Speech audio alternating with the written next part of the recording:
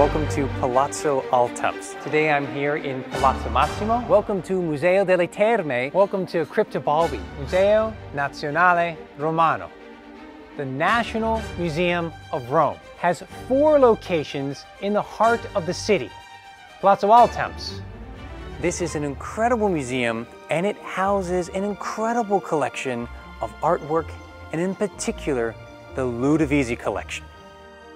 Palazzo Massimo is Imperial Rome, with incredible examples of frescoes, mosaics, marble and bronze statues.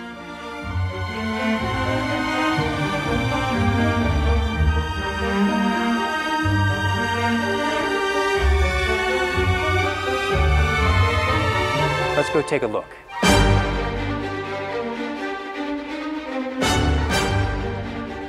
Crypta Balbi, in the portico of the theater of Balbus dates from 13 BC and is used in portions all the way through into the Renaissance times. Museo delle Terme is the epigraphic museum nestled within part of the Baths of Diocletian. The incredible thing about these locations is that each one has its own unique characteristics, location in the heart of the city, it's an incredible experience to go visit Museo Nazionale Romano.